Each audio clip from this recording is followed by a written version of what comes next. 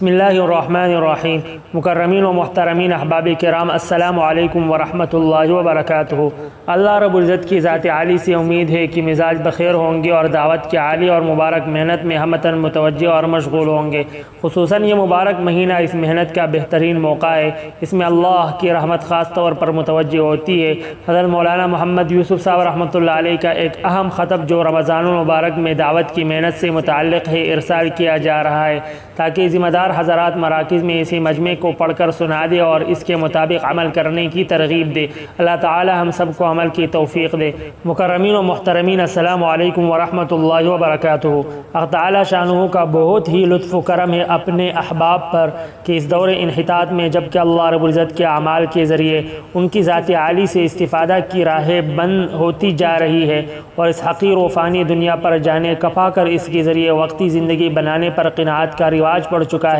ایسے عالی اور افضل طریق گشت و مجاہدہ کی طرف رہبری فرمائی، جس کی قدردانی کر لینے پر اور جان و مال کی حقیر سی پنجی جونک دینے پر صرف محنت و مجاہدہ کرنے والوں کے لیے ہی نہیں، بلکہ عام امت مسلمہ، علی صاحبہ الف الف صلوات و تحیات اور عام انسانوں تک کے لیے ہدایت کی دروازے کھل جانے کی پوری توقعات اور امیدیں ہے میرے عزیز دوستو، دونوں جہاں کی ساری نعمتوں اور کامل کامیابیوں کے حاصل کرنے کے لیے تعالی شانہ جل جلالہ عام نوالہ نے پورا دین عطا فرمایا ہے، جس کا تعلق ہماری زندگی کے سارے اعمال سے ہے۔ اب اگر حق تعالی شانہ اپنے لطف کرم سے ہدایت سے نواز دے اور یہ بات جی میں پیوست ہو جائے کہ پرورش کرنے والے، حالات میں تغیر و تبدل کرنے والے صرف رب العزت ہے اور اس دنیا میں پھیلا ہوا سارا نقشہ اور چیزوں کی دنیا بھر میں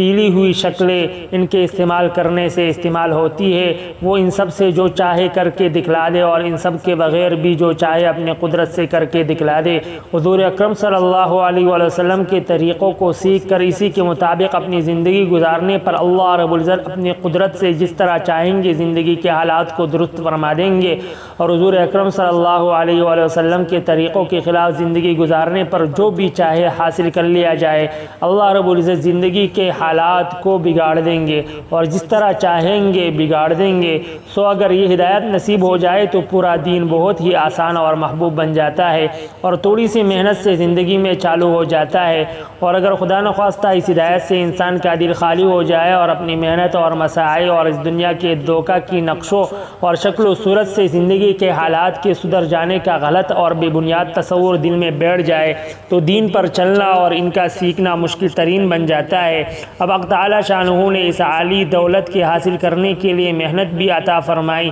اور دعائیں بھی عطا فرمائی اور ان اعمال کی محنت کے لیے جن کی حیات پر دعائیں قبول ہو کر ہدایت کی دولت نصیب ہو اور سارا دین آسان بنے، مساجد بنائی گئی اور بازاری نقشوں کے اختیار کرنے کو، وہاں کے تذکروں کو، وہاں کے تصورات کو یہاں ممنوع قرار دیا گیا اور مساجد کی آبادی اور تعمیر، بازاری نقش و نگار اور ساز و سامان میں قرار نہیں دی گئی، بلکہ گھنٹوں ایمان بالغیب والی مجالس میں بیٹھنا اور علم الہی کے حلقوں کا پابند بننا اور ذکر و دعا کی فضائیں قائم کرنا، نماز و عبادت کی فضا قائم کرنا اور امور اخرویہ پر رونا پیٹنا اور ایک دوسرے کی زندگی بنانے میں ہاتھ بٹانا وغیرہ امور کے مساجد میں وجود میں آنے کو ان کی تعمیر قرار دیا گیا اور مساجد کو ان اعمال سے آباد کرنے والوں کے مومن ہونے کی خوشخبریاں سنائی گئی اور انہی کی دعاؤں کے قبول کرنے کے وعدے کیے گئے اور انہی مبارک انسانوں کے لیے ہدایت دینے کے فیصلے کیے گئے۔ اب جو مبارک انسان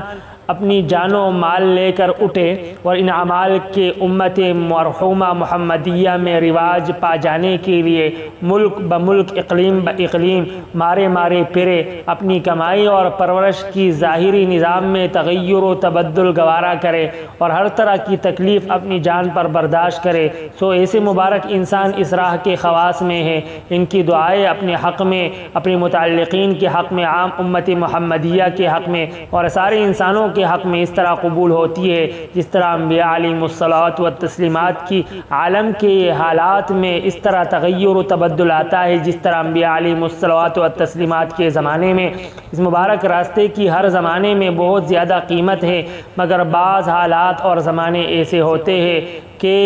راہ کی قیمت مالک الملک کی طرف سے بہت ہی زیادہ بڑھا دی جاتی ہے اور کام کرنے والوں کے لیے ترقیات کے بہت زیادہ دروازے کھول دیے جاتے ہیں۔ جن حالات انحطاط دین سے ہم گزر رہے ہیں، اس میں محنت کی قیمت دین کے استقبال کے زمانے کی محنت سے لاکھوں گنی زیادہ ہے، خصوصاً رمضان مبارک کے زمانے میں، جس زمانے میں حق تعالی شانہ کی طرف سے ہدایت کی تقسیم کا غیبی نظام قائم کیا جاتا ہے، شیاطین بند کر دیے جاتے ہیں، جو ہدایت سے ہٹانے کی غیبی طاقتیں ہیں، فرشتے پلا دیے جاتے ہیں، جو ہدایت کی طرف بلانے والی غیبی طاقتیں ہیں۔ وہ مبارک روحانیت، نور والی وہی لانے والا فرشتہ۔ جبریل علیہ السلام جس کے گوڑے کی ٹاپ تک کی روحانیت سے ریت پر سبزہ پیدا ہو جائے۔ جن کی اس عالم میں آمد حضرت محمد صلی اللہ علیہ وآلہ وسلم کے بعد بند ہو گئی اور ان کی والی برکت سے اہل عالم محروم ہو گئے۔ اس مبارک مہینے میں ان کی آمد بھی زمین پر کی جاتی ہے۔ گویا ان کی نسبت والی برکات کے دروازے کھول دیے جاتے ہیں۔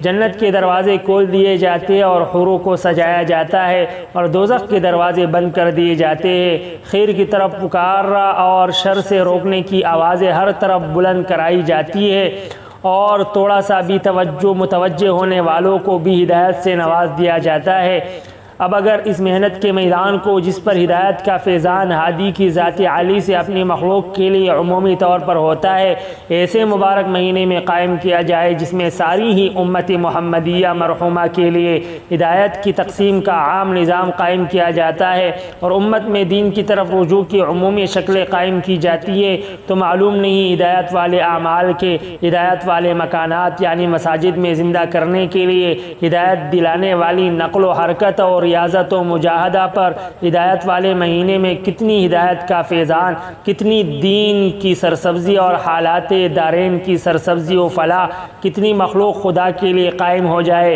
اور یہ محنت کرنے والے کتنی خصوصیت کے حامل اور کتنے نہ تصور میں آنے والے درجات اور اجور و انعامات کے حاصل کرنے والے بن جائے۔ حضرت محمد صلی اللہ علیہ وآلہ وسلم اور ان کے پیارے صحابہ کرام رضی اللہ تعالیٰ عنہ کی مساعی مبارکہ پر قدس و قدس و غیبی طاقتوں کا نزول اسی مہینے کی مبارک مسائل پر شروع ہوا یعنی غزوہ بدر والی ریاضت و مجاہدہ والا سفر۔ اور اس پر اللہ رب العزت کی مدد اس مہینے میں ہوئی اور آپ کی مسائی والے اسفار کی انتہا یعنی سارے عرب کے سارے قبائل کا اسلام میں داخلہ کرنے والا سفر یعنی فتح مکہ اسی مبارک مہینہ میں ہوا۔ اس ماہ مبارک میں اللہ رب العزت کی راہ کی نقل و حرکت اور صحیح اصول کی اتباع تام کے ساتھ محنت و مجاہدہ، راتوں کی درد بری دعائیں عام قلوب کے حق و ہدایات کی طرف پلٹ جانے اور دین متین کے سرسبز ہو جانے کا اعلیٰ ترین سبب اور اکمل ترین ذریعہ ہے۔ آپ حضرات ہمت فرما کر اللہ رب العزت کے راستے میں شوق و حوصلے کے ساتھ زیادہ سے زیادہ وقت کے لیے، زیادہ سے زیادہ خرچے کے ساتھ دور سے دور کے لیے اپنی ذاتوں سے نکل کر کھڑے ہو، دوسروں کو تیار کرے۔